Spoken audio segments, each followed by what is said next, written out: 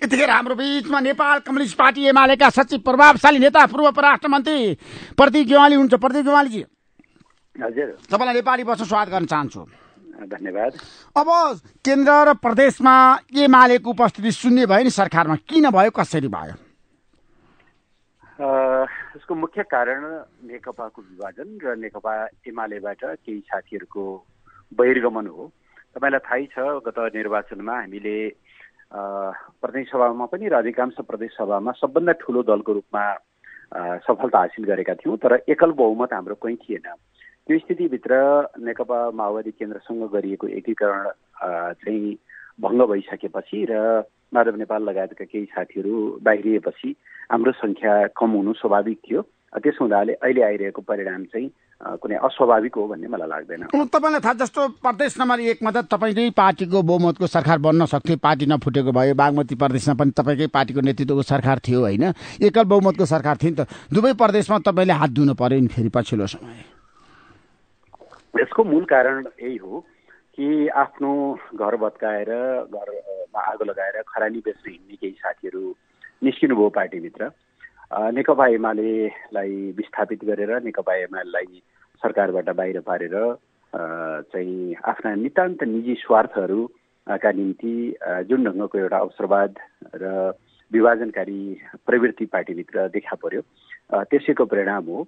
माथि केन्द्रमा उहाँहरूले नेकपा एमालेको सरकारलाई गिराएर कङ्ग्रेसको सरकार बनाउनको निम्ति उहाँहरूले आफ्नो पचासौँ वर्षको इतिहास बिसौँ वर्षको इतिहासलाई ध्वस्त पार्नुभयो र अत्यन्त यो क्षुद्र खालको राजनीतिक खेल खेल्नुभयो अब त्यसको पुरस्कार स्वरूप तल तल केही महिनाका लागि उहाँहरूले मुख्यमन्त्री प्राप्त गर्नुभएको छ। त्यो राजनीतिमा यति ठुलो धोका दिइसकेपछि प्राप्त हुने ती सुविधाहरू सामान्य विषय हुन् भन्ने मलाई लाग्छ। मूल कुरा कम्युनिस्ट आन्दोलनलाई कमजोर गर्ने जुन प्रवृत्ति कम्युनिस्ट आन्दोलनभित्र देखा पर्यो नेकपा एमालेभित्र देखा पर्यो त्यसको परिणाम हो अहिलेको घटनाहरू। त्यसमा केपी शर्मा ओलीको गलत नीतिको कारणले गर्दाखेरि यो अवसर अथवा यो अवस्थामा एमाले पुगेको होइन? होइन। त्यो चाहिँ एकदमै गलत कुरा हो। यो लगाइएको आरोपको कुरा हो। उहाँको नेतृत्वमा नेकपा एमाले विगत निर्वाचनमा शानदार सफलता प्राप्त गर्यो। त्यो सफलता पश्चात हामीले सरकार चलाउन सुरु गऱ्यौँ र संहिताको पहिलो अभ्यास भएको हुनाले तल तल पनि साथीहरूले असाध्यै राम्रोसँग प्रदेशका दीर्घकालीन योजनाहरू बनाउने प्रदेशमा प्रदेशका संरचनाहरू निर्माण गर्ने लगायतका कामहरू गर्दै जानुभएको थियो र ती सरकारहरूको कारणले मान्छेलाई संहिताको अनुभूति र संहिताको औचित्य स्थापित हुँदै गइरहेको अवस्था पनि थियो। अब अहिलेका घटनाक्रमले के भएको छ भनेदेखि अब केन्द्रमा पच्चिस जनाको मन्त्री परिषद हुन्छ। तर कतिपय ठाउँमा तल साथीहरूले आफ्ना स्वार्थका निम्ति सत्र अठारसम्मको मन्त्री परिषद बनाउँदै हुनुहुन्छ जो चाहिँ संहिताको एकदमै उपहास हो। र यसले बिस्तारै बिस्तारै संहिताप्रति मान्छेहरूमा नकारात्मक धारणा बन्ने स्थिति छ। कमसेकम पहिलो सरकारलाई फुल टर्म काम गर्न दिएको भएदेखि संहिताका जगहरू बलियो हुन्थे। भोलि आउनेहरूलाई पनि त्यसले एउटा आधार सृजना गर्थ्यो काम गर्नका लागि। यी कामहरू गर्न नदिने र नेपालमा निरन्तर राजनीतिक अस्थिरता चाहिँ सृजना गर्ने कुनै पनि संस्थालाई बलियो हुन नदिने। चाहिँ प्रवृत्तिकै एउटा प्रकट रूप हो अहिलेको यो पछिल्लो स्थिति। अब तपाईँले त राम्रोसँग हेर्नु भएको छ जस्तो अब केपी शर्मालाई ठुलो अवसर थियो यो देशको होइन? नेपालको कम्युनिस्टको कुरा गर्दाखेरि पहिलोपटक उहाँले कम्युनिस्ट पार्टीको नेतृत्वमा सरकार बनाउन सफलता प्राप्त गर्नुभएको थियो। झन्डै दुईटै मतको सरकारको नेतृत्व गर्नुभएको थियो। तर आफ्नै कारणले र पार्टीलाई छ नि विभाजनबाट रोक्न नसक्दाखेरि विवाद व्यवस्थापन नगर्न चाहिँ उहाँले छ नि जुन किसिमको पहल गर्नु पर्थ्यो नि त। त्यो नगर्दाखेरि यो अवस्थामा तपाईँहरू पुगेको होइन? होइन सच्चाइ त्यस्तो होइन ऋषिजी। तपाईँलाई थाहै छ नेकपाको एकता जोगाउनका निम्ति प्रधान तत्कालीन प्रधानमन्त्री पार्टी अध्यक्ष केपी शर्मा ओलीले के मात्रै गर्नु भएन। उहाँले पार्टीको एकता महाधिवेशन गएको चैतका निम्ति प्रस्तावित थियो। र त्यो चैतको एकता महाधिवेशनमा पुष्पकमल दाहाल प्रचण्डलाई एकल अध्यक्ष बनाउनका निम्ति उहाँले प्रस्ताव गर्नुभएको थियो। लिखित उहाँहरूको बिचमा सहमति भएको थियो र उहाँले सार्वजनिक रूपमा भन्नुभएको थियो म आउने महाधिवेशनपछि पार्टीको अध्यक्ष रहन्न। पार्टी एकताका निम्ति उहाँले त्यो हदसम्मको घोषणा गर्नुभएको थियो र आउने निर्वाचनपछि म पार्टीको चाहिँ के अरे फेरि अर्को प्रधानमन्त्रीको उम्मेद्वार बन्दैन। नेपालको राजनीतिमा आजीवन पदमा टाँसिरहने यो प्रवृत्ति रहिरहेको बेला एकजना एकदमै लोकप्रिय नेताले चाहिँ म यसरी एउटा अवधिपछि चाहिँ म बिदा हुन्छु भनेर भन्ने कुरा चाहिँ आफैमा एउटा पद्धति बसाल्ने हिसाबले दूरगामी महत्त्वको कुरा थियो।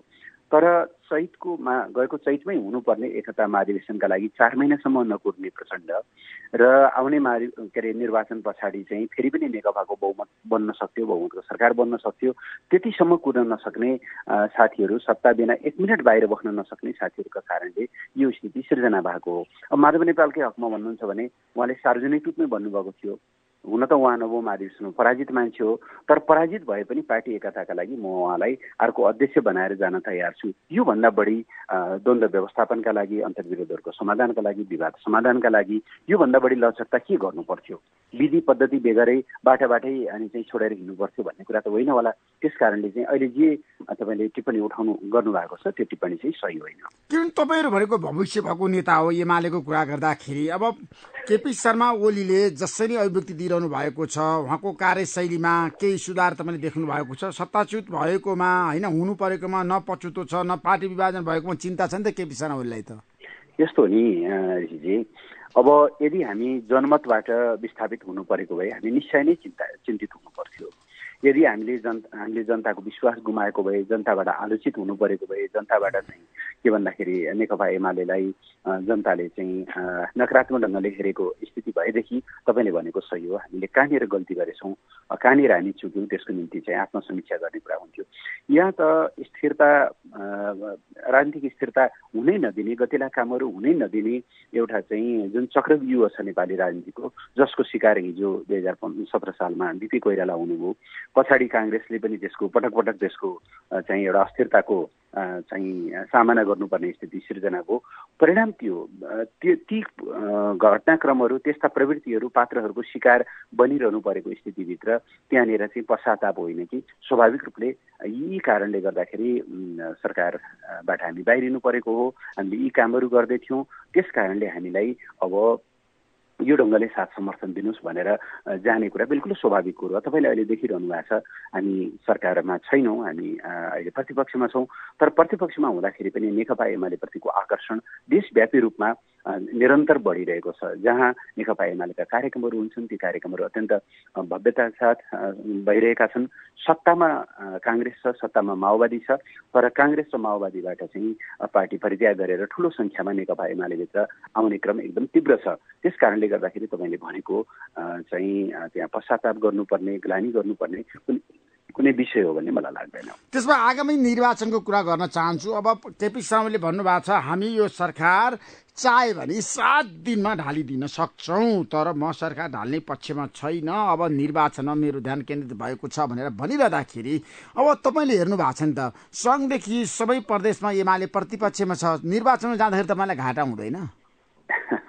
यस्तो नि। नेकपा एमाले जहिले जहिले निर्वाचनमा सफलता प्राप्त गरेको छ। हामी सधैँभरि प्रतिपक्षमा रहेर लड्दाखेरि हामीले सफलता प्राप्त गरेका हौँ। तपाईँलाई थाहा छ दुई हजार एकाउन्न सालमा पहिलोचोटि नेकपा एमाले अल्पमतको सरकार बनायो। दुई हजार एकाउन्न सालको कार्तिकमा भएको मध्यावधि निर्वाचनमा हामी प्रतिपक्षमा थियौँ नि त। गिरिजाबाबु प्रधानमन्त्री हुनुहुन्थ्यो। त्यति बेला काङ्ग्रेसको एकदमै बिगबिगी थियो। त्यो बेलामा भएको चुनावमा हामीले सफलता प्राप्त गरेको होइन र अस्तिको चौहत्तर सालको निर्वाचनमा पनि कङ्ग्रेसले गराएको चुनाव हो। माओवादी अब टेक्निकल्ली सरकारमा थियो तर यता एमालेसँग गठबन्धन भइसकेपछि उहाँहरूका सबै विभागीय जिम्मेवारी खोसेर बिना विभागीय मन्त्रीको रूपमा चाहिँ माओवादी साथीहरू थिए। त्यो अवस्थामा कङ्ग्रेसले गराएको निर्वाचनमा हामीले सफलता प्राप्त गरेको त्यस कारणले प्रतिपक्षमा भएर चुनाव लड्दा हामीलाई अप्ठ्यारो पर्छ भन्ने कुरा हामीलाई कतिबार लाग्दैन। सत्तामा रहेर चुनाव लड्न ती मान्छेहरू चाहन्छन् जसलाई सत्ताको दुरुपयोग गर्नु छ। हामीलाई सत्ताको दुरुपयोग गर्नु छैन हामीलाई जनताको मन जित्नु छ। त्यस कारणले जनताको मन जित्ने कुरामा जनताको चाहिँ विश्वास जित्ने कुरामा त्यो आत्मविश्वास भएका पार्टीहरूको निम्ति सत्तामा हुनु वा बाहिर हुने कुराले कुनै फरक पार्दैन। प्रतिनिधि राजनीतिज्ञहरूले आत्मसमीक्षा पनि गर्नुपर्छ। अब एमालेको कुरा गर्दाखेरि पार्टी अध्यक्ष केपी शर्मा ओलीले यो विभाजनबाट पाठ सिक्नु पर्दैन? अवश्य। त्यही भएर त हामीले अहिले भनिरहेका छौँ। वास्तवमा हिजो हामीले जुन ढङ्गले पार्टी एकता गऱ्यौँ जुन ढङ्गले पार्टी सञ्चालन गऱ्यौँ पार्टी एकता हामीले माथि टाउको जोडेर गरेछौँ। वास्तवमा तलैदेखि भनौँ न माओवादी साथीहरूसँग तलैदेखि छलफल गर्दै गर्दै गर्दै गर्दै तलबाट जग बलियो बनाएको भए सायद माथि प्रचण्डले चाहिँ पार्टी विभाजन गर्न खोज्दा अलग हुन खोज्दाखेरि पनि तलबाट रेसिस्ट हुन्थ्यो होला। त्यस कारणले एउटा हामीले सिकेको पहिलो पाठ भनेको के हो भनेदेखि पार्टी एकता माथिको टाउको जोडेर हुँदो रहेछ। तलैदेखि जगैदेखि त्यसलाई चाहिँ बलियो बनाएर मात्रै पार्टी एकता हुँदो रहेछ। पहिलो हामीले निकाल्न पर्ने निकालेको चाहिँ एउटा पार्टी हो नम्बर एक। नम्बर दुई पार्टीभित्र अन्तर्विरोधहरू हुन्छन् तर हामीले ख्याल गर्नुपर्ने के रहेछ भन्दाखेरि एकदम क्षणिक स्वार्थका निम्ति चाहिँ पार्टीलाई समाप्त पार्न खोज्ने दीर्घकालीन उद्देश्यलाई चाहिँ कमजोर गर्न खोज्ने तत्कालीन स्वार्थका निम्ति पार्टीका बृहत्तर हितमा चाहिँ कुठाराघात गर्न सक्ने त्यस्ता खालका व्यक्तिहरू पात्रहरूलाई अनावश्यक प्रोत्साहन दिनु हुँदो रहेनछ। कतिपय ठाउँमा हामीले फटाफट ती साथीहरूलाई माथि पुर्यायौँ कतिपय साथीहरूलाई चाहिनेभन्दा बढ्ता महत्त्व दियौँ कतिलाई फटाफट हामीले टिकट पनि दियौँ तर पछि चाहिँ ती साथीहरूले आफ्नो निष्ठालाई चाहिँ एक किसिमले लिलामीमा राखे। यस्तो खालका अवसरवादी पात्रहरूलाई पार्टीभित्र चाहिँ ठाउँ दिनु हुँदो रहेनछ। यो पनि हाम्रो निम्ति एउटा पाठ हो। स्वाभाविक रूपले हामीले समयक्रममा अझ गम्भीर समीक्षा गर्नेछौँ। कहीँ कतै हाम्रा का हाम्रा कमजोरीहरू छन् भने ती कमजोरीहरूलाई हामीले हटाउनेछौँ निश्चय नै। तर हामीलाई चाहिँ के छ भन्दाखेरि पहिलो यो घटना नेकपा एमालेको हकमा मात्रै भएको भए नेकपा एमालेको मात्रै बहुमतको सरकार नेकपाको मात्रै बहुमतको सरकार नटिकेको भएदेखि हामीले चाहिँ हाम्रा मात्रै कमजोरी हुन् कि भन्ने कुरा को रूपमा पनि त्यसलाई हेर्नुपर्ने हुन्थ्यो। तर कहीँ न कहीँ यी सबै घटनाक्रममा मैले अघि इतिहासका केही सन्दर्भहरू यहाँलाई राखेँ। कहीँ न कहीँ यी सबै सन्दर्भमा नेपालमा राजनीतिक स्थिरता हुन नदिने एउटा चाहिँ कहीँ न कहीँ एउटा ठुलो त्यो चाहिँ जुन श्रृङ्खला छ अस्थिरताको श्रृङ्खला त्यो अस्थिरताको श्रृङ्खलालाई हामीले अन्त गर्न सकेका छैनौँ। त्यसको पछिल्लो शिकार चाहिँ नेकपा एमाले भएको भन्ने हिसाबले हामीले बुझ्नु जरुरी छ। अब प्रचण्डले सबै कम्युनिस्टलाई म एक बनाउँछु सबैलाई मिलाउँछु र एमाले बाहेक एउटा सशक्त मोर्चाबन्दी गरेर गठबन्धन बनाएर निर्वाचनमा गएर एमालेलाई पराजित गर्छु भन्ने रणनीतिमा उहाँ हुनुहुन्छ। उहाँले चितवनबाटै घोषणा गरिसक्नु बिहान बिहानै हँसाउनु भयो ऋषिजी एकदम रमाइलो लाग्यो। जसले आफ्ना गुरु मोहन वैद्यलाई टिकाउन सक्नु भएन जसले आफ्ना सहकर्मी बाबुराम भट्टराईलाई टिकाउन सक्नु भएन जसले आफ्ना एउटा प्रतिभावान भनौँ न पार्टीका उदीयमान कार्यकर्ता नेत्र विक्रम शर्मा विप्लवलाई टिकाउन सक्नु भएन जसले आफ्नो सहयोद्धा रामबहादुर थापा बादलसँग चाहिँ सहकार्य गर्न सक्नु भएन। अब उहाँले चाहिँ बृहत्तर कम्युनिस्ट एकता भनेको सुन्दा हाँसो पनि लाग्यो। अनि अस्ति उहाँले अब उहाँमा अलिकति यति बेला निकै छटपटाहट देखिन्छ। उहाँका अभिव्यक्तिहरूमा तपाईँले हेर्नुभयो भनेदेखि निकै छटपटाहट देखिन्छ। निकै चाहिँ अब खालको बोलीमा असन्तुलन पनि छ। अस्ति उहाँले चाहिँ जनता समाजवादी पार्टीसँग एकता गरिहालौँ भन्नुभयो। अनि जनता समाजवादी पार्टीका नेताहरूले व्यक्त गरेको प्रतिक्रिया तपाईँले सुन्नु नै भयो होला। अनि उहाँहरूले उडाइदिनु भयो। अनि तपाईँसँग चाहिँ विचारै मिल्दैन। एक दुईवटा तात्कालिक एजेन्डाहरू मिल्लान् तात्कालिक इस्युहरू मिल्लान् कहाँबाट पार्टी एकता हुन्छ? त्यसो हो भने उपेन्द्र यादवलाई नेता मानेर आउनुहोस् न त भनेर उहाँहरूले भन्नुभयो। यो ढङ्गको एउटा स्थिति हो। त्यस कारणले उहाँले उहाँको नेतृत्वमा पार्टी एकता त त्यो चाहिँ एउटा हास्यास्पद कुरा हो। त्यसो भए नेपालका कम्युनिस्टहरूलाई प्रचण्डले एक बनाउन सक्नुहुन्न असम्भव। सक्नुहुन्न सक्नुहुन्न। उहाँ आफैले आफ्नो साथीहरूलाई थप साथीहरूलाई पनि रोक्न सक्नुहुन्न। तपाईँले नोट गरिराख्नु होला। निकट भविष्य नै त्यहीँभित्रबाट धेरै साथीहरू चाहिँ बाहिरिने क्रममा हुनुहुन्छ खास गरेर तलका कार्यकर्ताहरू। तलको कार्यकर्ता एमालेमा आउँदैछन्? हजुर हो। तपाईँहरूले चाहिँ अब माओवादी केन्द्रलाई सिद्ध्याउने रणनीति बनाउनु भएको छ। होइन सिद्ध्याउने कुरै भएन नि। बहुदलीय व्यवस्था हो। अब कुनै पनि पार्टीमाथि नेतृत्वमाथि विश्वास भएन विचारमाथि विश्वास भएन भनेदेखि मान्छेहरूले आफ्नो बाटो रोज्न पाउने स्वतन्त्रता छ नि त। त्यो कसैलाई चाहिँ सिद्ध्याउने र कसैलाई प्रोत्साहन गर्ने भन्ने होइन। तर एउटा कुरा नेकपा माओवादी आन्दोलनभित्र जबरजस्त उठिरहेको एउटा विषय यही हो कि हिजो त्यत्रो ठुलो उहाँले चाहिँ सपनाहरू देखाउनु भयो। सत्र हजार मान्छेहरूको ज्यान गयो। युद्धमा चाहिँ सा साथीहरू युवाहरू चाहिँ हजारौँ युवाहरू होमिए। तर आज ती युवाहरूको सपना कहाँ पुग्यो? ती सपनालाई चाहिँ सार्थक पार्नका निम्ति उहाँले के भूमिका खेल्नुभयो? आखिर गणतन्त्र आएको उहाँको हकमा भन्ने हो भनेदेखि त उहाँका परिवार परिवारका साथीहरू परिवारका मान्छेहरूभन्दा बाहेक अरू कसैलाई उहाँले योग्य त देख्नु भएन। कार्यकर्ताहरूका पीडाहरू जसले चाहिँ छातीमा भनौँ न अहिले पनि शरीरमा गोलीका छर्राहरू बोकेर हिँड्नु भएको छ घाउहरू बोकेर हिँड्नु भएको छ उहाँहरूलाई त उहाँले सत्तामा हुँदा त कहिल्यै सम्झिनु भएन। हिजो जसका विरुद्ध लड्नुभयो हिजो सुरुवात उहाँले चाहिँ राष्ट्रियताका निम्ति गर्नु भनेर चाहिँ राष्ट्रियताको आन्दोलन भनेर गर्नुभयो। चालिस बुधे मागमध्ये अधिकांश मागहरू चाहिँ राष्ट्रियतासँग जोडिएका मुद्दा थिए। तर युद्ध सुरु भएको चाहिँ अथवा आन्दोलन सुरु भएको केही महिनाभित्रै उहाँ गएर भारतमा आश्रय लिएर बस्नुभयो। थ्रु आउट द चाहिँ युद्ध दस वर्षको त्यो युद्धमा उहाँले चाहिँ भारतसँग आश्रय लिएर बस्नुभयो। कहिले राजतन्त्रको विरुद्ध चाहिँ सङ्घर्ष गर्ने भन्नुभयो पछाडि उहाँले आफै खुलासा गर्नुभयो। राजतन्त्रसँग हाम्रो अघोषित कार्य कार्यगत एकता थियो भनेर त्यत्रा धेरै काङ्ग्रेसका कार्यकर्ताहरू शिकार बने उहाँहरू कसैले टाउकाको मोल तोक्नुभयो कसैले चाहिँ आतङ्ककारी घोषणा गर्नुभयो। भरे अहिले त उहाँहरू मिलेर सरकार बनाउनु पर्ने रहेछ। भनेपछि यी सबै कुरा त सत्ता स्वार्थका लागि र आफ्ना नि व्यक्ति आफ्नो परिवारका मान्छेहरूलाई माथि उठाउनका लागि त रहेछ नि त। यो कुरा त कार्यकर्ताहरूले देखेका छन्। त्यसको निम्ति नेकपा एमाले केही भनिरहनुपर्छ र त्यसो हुँदा माओवादी नेतृत्वप्रति माओवादी कार्यकर्ताहरूको तीव्र मोहभङ्ग भइरहेको छ। उहाँहरू तीव्र रूपले चाहिँ उहाँहरू चाहिँ निराश भइरहनु भएको छ र अब यहाँबाट पार लाग्दैन भन्ने कुरा चाहिँ देखिरहनु भएको छ। अहिले प्रचण्डको एकमात्र भरोसा भनेको यो पाँच दलीय गठबन्धन कायम रहन्छ काङ्ग्रेसले केही सिट छोडिदिन्छ त्यहाँबाट जित्छु भनेर होइन भनेदेखि तपाईँ आफै भन्नु त। नेपाली काङ्ग्रेसका भरतपुरका सभापतिले हामीले काङ्ग्रेसले आफ्नो भोट रुखमै हान्न पाउनुपर्छ काङ्ग्रेसका मतदाताहरूले आफ्नो भोट चाहिँ आफ्नै चुनाव चिन्हमा हाल्नु हाल्न पाउनुपर्छ। भन्दा उहाँमा त्यत्रो छटपटाट किन प्रचण्डमा त साह्रै ठुलो चर्को छटपटाट देखियो त। मैले चाहिँ माथि शेरबहादुरजीलाई प्रधानमन्त्री बनाइदिने यहाँकाले चाहिँ मलाई लखेट नखोल्ने भनेर उहाँ त एकदम चाहिँ चर्को स्वरमा बोल्नुभयो त। त्यो छटपटाट होइन। त्यसमा प्रदीपजी अब राजनीतिक कुरा गरिरहँदाखेरि हाम्रो देशको न्यायालय क्षेत्र अस्तव्यस्त भएको छ। न्यायालयमा यतिखेर आन्दोलन जारी छ। तपाईँलाई थाहा छ नेपाल बार आन्दोलन छ। प्रधानमन्त्री चोलेन्द्र शमशेर जवारलाई राजीनामा नदिएसम्म बार ब्याक नहुने कुरा चाहिँ बाहिर आइरहँदाखेरि आन्दोलन जारी रहिरहँदाखेरि अब निकास के त? होइन बिल्कुलै अब यो सडकबाट आन्दोलनबाट न्यायाधीशहरू फेर्ने प्रधान न्यायाधीश फेर्ने यो बाटोसँग हाम्रो बिल्कुलै चाहिँ विमति छ। अब प्रधान न्यायाधीश नियुक्तिको पनि न्यायाधीश नियुक्तिको पनि एउटा बेग्लै खालको संवैधानिक व्यवस्था छ। त्यही संवैधानिक व्यवस्था अनुसार जानुपर्छ। यदि उहाँहरूलाई चाहिँ प्रधान न्यायाधीश चित्त बुझेको होइन न्यायाधीशहरू चित्त बुझेको होइन भनेदेखि उहाँहरूले आफ्नो आफ्ना आफ्ना पार्टीका नेताहरूलाई भन्नु पर्यो सत्तारूढ पार्टीसँग त अहिले एक सय पैँसठीजनाको बहु बहुमत छ। उहाँहरूले महाअभियोग ल्याउनु भयो भनेदेखि त्यहाँनिर छलफल हुन सक्छ। महाअभियोगको बाटोबाट मात्रै कुनै पनि प्रधान न्यायाधीश अथवा न्यायाधीशलाई हटाउन सकिन्छ। होइन भनेदेखि कसैलाई चित्त बुझेन भनेर बलियो पाखुरा देखाएर चर्को स्वरमा चाहिँ राजीनामा माग्दै सडक सडकबाट न्यायाधीश फेर्ने र सडक सडकबाट चाहिँ के भन्दाखेरि न्यायाधीश राख्ने खालको बाटोमा जाने भनेदेखि त विधिको शासन भन्ने कुरा कहाँ हुन्छ? बडो अनौठो कहाँनिर लाग्छ भने हाम्रा वकिल साथीहरू हामीलाई विधिको पाठ विधिको शासनको पाठ सिकाउनुहुन्छ। अनि हामी विधिको पाठ सिकाउनुहुन्छ। अब न्यायाधीशहरूले त अब चेयरम्यान खोल्न मात्रै बाँकी रह्यो उहाँहरूले त हडताल गर्नुभयो। बन्दी प्रतिष्ठीकरणका मुद्दाहरू समेत हेरिएनन्। झन्डै अठाइस हजार मुद्दाहरू चाहिँ वर्षौँदेखि पेन्डिङ सर्वोच्च अदालतमा अब मान्छेको जुनै पनि कहिले काहीँ त्यो मुद्दाको फैसला हुँदैन। मान्छेको मुद्दा न्यायको हात गर्दै चाहिँ न्यायालय परिसरमै कतिपयको ज्यान गएको हुन्छ।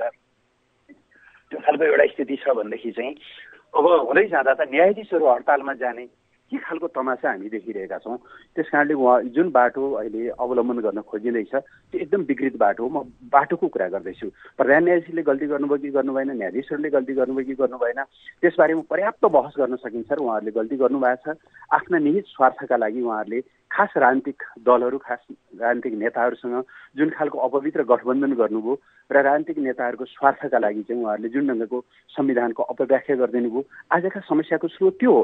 तर त्यति हुँदाहुँदै पनि नेकपा एमाले र विधिको शासनमाथि विधिमाथि चाहिँ असाध्यै ठुलो प्रहार यस बिचमा भएको देख्दा देख्दै पनि हामी चाहिँ असंवैधानिक बाटोबाट अराजकताको बाटोबाट चाहिँ प्रधान न्यायाधीश अथवा न्यायाधीशहरू फेरिनुपर्छ भन्ने मान्यतामा चाहिँ छैनौँ। त्यो समस्या भित्रैबाट समाधान हुनुपर्छ। अब बारले बारका कुनै कतिपय न्यायाधीश के अरे वकिलहरू वकिल साथीहरूलाई कानुन व्यवसायीहरूलाई कुनै मान्छेको अनुहार मन परेन। अनि अर्को मान्छे ल्याउनु पाएँ भनेदेखि त फटाफट सेटिङ हुन्थ्यो। बेन्च मैले भने जस्तो बन्थ्यो। अनि मैले जिम्मा लिएका मुद्दा जति मैले फटाफट आफ्नो पक्षमा चाहिँ फैसला गराउन सक्थेँ भन्ने टाइपको यो बाटोबाट जाने कुराले कुनै पनि विधिको चाहिँ त्यसले चाहिँ स्थापना गर्दैन। यसले मुलुकलाई भयानक अराजकतातिर लैजान्छ जुन अराजकताको पक्षमा हामी छैनौँ। त्यसमा जाँदा जाँदै अब प्रधान विरुद्ध तपाईँहरू महाभियोगको प्रस्ताव ल्याउने पक्षमा हुनुहुन्न हामी त किन ल्याउन? हामी हामी ल्याउँदैनौँ।